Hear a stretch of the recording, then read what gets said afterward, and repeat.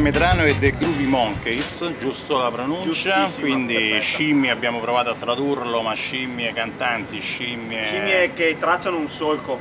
The ok, groove. diciamo un, un eh, intraducibile, termini Intraducibili. Groovy Monkeys. Ecco, proviamo subito a presentarci, anzi, eh, se conosciamo come dite voi o non se conosciamo. Ma io direi che non, non se conosciamo, quindi... Quindi Herman, Herman, qui alla mia sinistra. Si- Presentatevi voi, va. Yuri, Alessandro, Tec. Leo, Diego, Ugo e Millo. ok, eh, so che avete fatto un, un album, appunto non se conosciamo il suo titolo, qualcuno che ci vuole parlare in sintesi diciamo, di questo progetto artistico? Beh, comincio io, poi magari aggiungono qualcosa i membri dei Groovy Monkeys. Eh, non se conosciamo, fuori qua da maggio di quest'anno, eh, 13 tracce per eh, dei- un genere che è tutto, tutto da scoprire perché sarà più funky, più reggae, più rock, non si sa ancora e vedremo gli ascoltatori cosa decideranno. tutto in lingua veneta e con numerosi ospiti. Ok, senti, Tutto rappato tra l'altro. qualcuno perché- vuole aggiungere qualcosa? Siete numerosissimi per cui è difficile, Che sembra... ogni ospite canta nel suo dialetto, perché sono ospiti da tutta Italia. Ah ok, infatti avevo notato, è facilmente insomma, diciamo, notabile la cosa che la partecipazione è numerosa diciamo, di ospiti, in particolare diciamo, Caparezza per, per il brano Super Epide, da, questa amicizia da dove nasce? Beh, eh, rispondo sempre io perché lo conosco da una decina d'anni, io e Tech suonavamo assieme e aprivamo i suoi concerti, quindi quando viene, viene qui in Veneto apriamo i suoi concerti ancora e facciamo... L'amicizia nasce dalla- dall'ambiente musicale, quindi dalla musica. Ok, ehm, ascoltando diciamo, questo album nella sua, come posso dire, eh, nella sua interezza, no? Eh, quindi un album molto, molto complesso, mh, sempre sull'album. Eh, ascoltandolo si, insomma, si notano, si, si- si, eh, intravedono contaminazioni funky, rock e reggae, ma voi come vi sentite di più in realtà? Diciamo che abbiamo ognuno un animo musicale diverso, un background diverso. Diciamo, queste anime sono entrate però tutte Esatto. diciamo anche in maniera abbastanza violenta ma in senso, in senso positivo, no? Nel senso che io ho, insomma, un, è un album molto articolato, chiamiamolo così, molto divertente, quindi non solo musica ma c'è anche insomma del sano, come posso dire, divertimento, almeno, almeno noi l'abbiamo letto così, quindi una sana voglia di, di passare del tempo insieme, no? Ehm, ritornando un po' alle partecipazioni illustri, oltre che Caparezza di cui abbiamo già parlato, eh, vediamo ospiti come Piotta, Roy Paci, eh, Olive Scardi, non so, aggiungetene qualcuno, voi sono Palazzo, talmente c'è tanti. Manu PHL, c'è Dellino Farmer. No, tutto questo per arricchire, diciamo così, i pezzi. eh, no, ma prego, Il prego. Giovanello anche, sì. Ah, ok, sì, nominiamoli li tutti, poi non vogliamo il che. Giotto potrebbe risentirsi. Eh, esatto, e quindi anche per l'incolumità, diciamo sì, così. esatto, no? per la nostra incolumità. Ecco, ok, quindi lo facciamo per voi e per noi in questo caso. Ecco, tutto questo arricchisce di sfumature linguistiche, diciamo un album fortemente veneto, perché la base, come, come abbiamo ascoltato, è in lingua veneta, per cui poi queste contaminazioni linguistiche portano, come posso dire, un qualcosa che definirei unico nel suo genere. Perché questa scelta?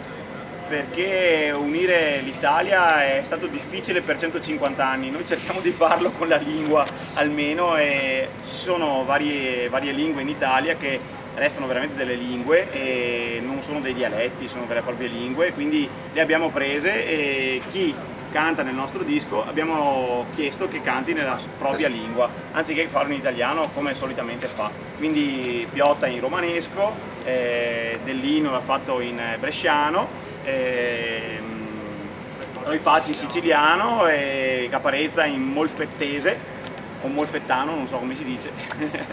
Diciamo il, il fatto di aver scelto il Veneto come, diciamo, come lingua base della- del vostro gruppo è per voi, come posso dire, un limite o un'opportunità? O meglio, perché avete fatto questa scelta così decisa?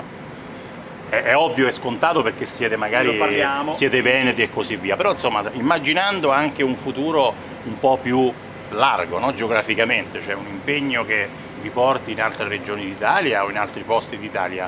Questa, questa vostra scelta credete possa essere un limite oppure è un- è un'opportunità? Perché questa ricerca così importante diciamo, della tradizione, in senso tra virgolettato? Per noi è un'opportunità per chi ascolta, in realtà l- l'ascoltatore si trova di fronte a qualcosa di nuovo perché solitamente si sente il napoletano eh, nel cantato, napoletano, qualche volta il, salentino, c'è anche il sardo le lingue che vengono più usate nella musica sono che- troviamo già a disposizione l'ascoltatore già le conosce. Il Veneto abbiamo due esempi, siamo noi che ci abbiamo provato adesso con un disco importante e Scardi con Pittura Fresca qualche anno fa e quindi abbiamo delle- delle, delle- una proposta che si mette nel panorama musicale accanto alle altre lingue, quindi è un'opportunità in più per l'ascoltatore di imparare qualcosa. Oltre al fatto che comunque quando si ascolta l'inglese o altre lingue estere molto spesso non Certo. si capisce niente, quindi non vedo perché non proporre qualcosa Ok. di locale. Adesso io vi propongo un gioco, ovviamente parlare dell'album sarebbe stato troppo semplice in maniera normale, quindi un gioco che vi coinvolge un po' tutti. Vi faccio delle domande che richiamano il titolo dei brani, al, al quale ovviamente dovrete rispondere in maniera eh, sintetica, questo è chiaro, quindi sono delle provocazioni, degli aforismi piuttosto che delle, diciamo come posso dire, delle idee che ci sono venute leggendo i titoli e ascoltando i vostri brani. Quindi iniziamo subito, poi risponde chi vuole, eh, senza nessun problema. Io mi astengo subito così. Ok, quindi facciamo così, facciamo parlare loro. Ok, quindi non si conosciamo da quando? Chi vuole? È come Super Mike. Quindi non vi conoscete da sempre? Non noi. In genere? Ok. Osa se vuoi. Se vuoi fare un salto in avanti devi osare. Se vuoi provare qualcosa di nuovo. Meglio Superman o Super Epete? Meglio Erba. Wolverine. Wolverine. Il barman. Erba. Oh, qua, questa è una domanda molto impegnativa ovviamente. Voi conoscete la tracklist del- dell'album, quindi sapete già che cosa vi sto per chiedere. Ecco, possiamo parlare delle È un segno, è un segno come disse Ceccherini. Per quello che vi stavo per chiedere. Cazzo. Uno spot per il partito del Peo. Chi lo vuole fare? Miseria. Infatti la- la- la- la- ecco, il dio Ceccherini è apparso e ha fatto suonare le Già, campane a il festa. eh, Eh alza, sì, alza, la mano. Alza la massa che piace del pelo. Ok, quindi uno, due, tre e basta? Ah, ok. Ok, cicca in bocca o in tasca? Per terra, purtroppo. Ma la maggior parte siamo fumatori. Ombre, mezze piene o mezze vuote? Mezze piene. Piene, piene. Ok. Un'altra Venezia con i piccioni o senza? Incubo di tutti. Si dice a Venezia, merda fa schifo. Oh, finalmente Finalmente abbiamo... finalmente avete fatto voi. Finalmente Herman è zitto. Finalmente sto zitto. sito fora per poco o per sempre? O Per sito poco. fora, come mi hai detto prima. Bisogna essere... sempre. No, per se loro sono fuori per sé, io per poco. che altro non siamo mai dentro. Eh. E quindi Sueman, questa è? Sueman. Sueman, io Sueman. ah, ho tradotto in inglese, Eh, vedi, Sueman. ma- Sueman. che si Sue ricollega al peo. Sue mani, sue mani per la gente che lavora. È un rafforzativo diciamo del- dello spot per il peo, Sì. giusto? È- è In realtà l'avete messo per confondere un po' le idee. Ma... Ok, extra extra bonus o malus? Malus. Malox. Malox. Malox. Malox. Qua io so che qualcuno di voi è di origine siciliana, quindi mi non so e se so, giustamente non risponde. Ok. Ah, questa è, è, diciamo, è stata per noi molto complessa, diciamo, nel senso che eh, il top di ogni finto è fingere di non fingere. Perché? Che questa chi me la spiega? Perché poi ascoltando Eh, il solo pezzo... Solo Herman può. Eh, la frase originale è fare finta di non fare finta, fin non fare finta di non fare finta. Ecco, vedi, è ora- già ora sì che- complicato, eh. significa che chi è veramente bravo a fingere non occorre neanche che faccia finta di non fingere, perché sta già fingendo in maniera naturale. Quindi è difficile.